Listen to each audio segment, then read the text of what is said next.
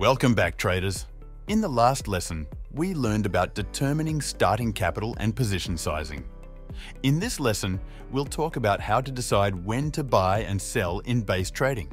This strategy is very important for making the most money possible. Let's get started. Introduction to Entry Strategies In traditional trading, entry strategies are the techniques used to enter trades at optimal price levels. Traditional trading is different, where we focus on capitalizing on long-term trends. Traditional entry strategies are designed to identify key support levels for buying opportunities and resistance levels for selling opportunities. In base trading, we capitalize on price movements regardless of the direction of the trend. Unlike traditional strategies that focus solely on long-term trends, base trading takes advantage of emotional fluctuations in the market. As long as the price falls down emotionally and bounces emotionally, it doesn't matter where the trend is. Identifying key support levels.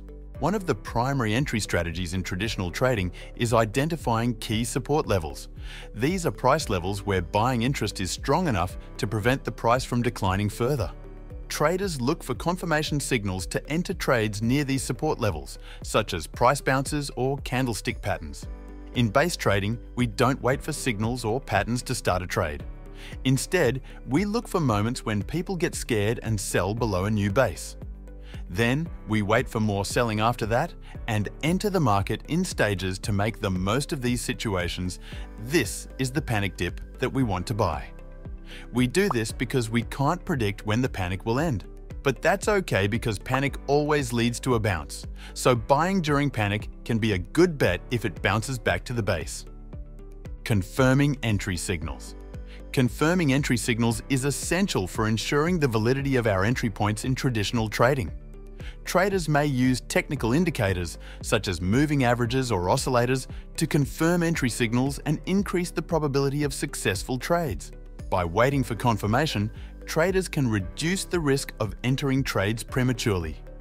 In base trading, we don't rely on technical indicators for entry signals.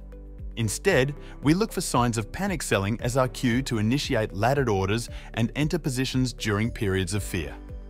Establishing exit strategies.